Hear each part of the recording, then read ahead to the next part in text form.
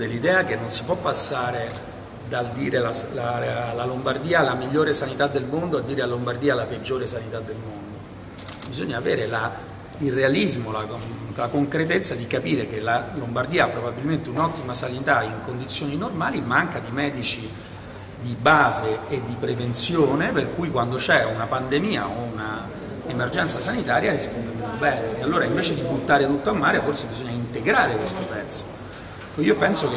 la discussione sulla sanità lombarda è un classico esempio di come si discutono le cose in Italia. Si passano dal modello Lombardia al modello come se la Lombardia fosse un paese del terzo mondo, ma è sbagliato, non è vero, non è così. Quindi le proposte di azione? Le proposte di azione sono tutte orientate sulla sanità di territorio. Guardate, dove si è riusciti a uh, prevenire e a gestire il Covid e dove c'era la presenza di medici vicini alle famiglie che hanno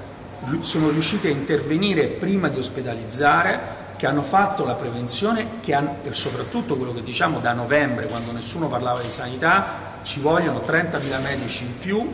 ci vogliono, scusate, ci vogliono 30.000 infermieri in più, ci vogliono 10.000 medici in più, ci vogliono, ed è uno scandalo nazionale, le 9.000 borse di studi di specializzazione che mancano per i giovani medici è uno scandalo nazionale, un paese che in pieno Covid, pieno di denaro che sta spendendo in tutti i modi, non è riuscito a trovare 340 milioni di euro per pagare le borse di studio degli specializzati.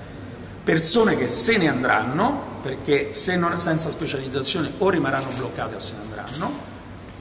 e intanto discutiamo, e oggi il Partito Democratico si è dimostrato la somma delle incoerenze di nuovo perché ha votato contro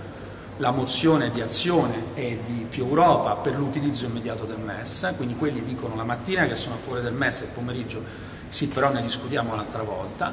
e intanto mentre ne discutono un'altra volta ci sono 9.000 persone che non, non hanno la borsa di studio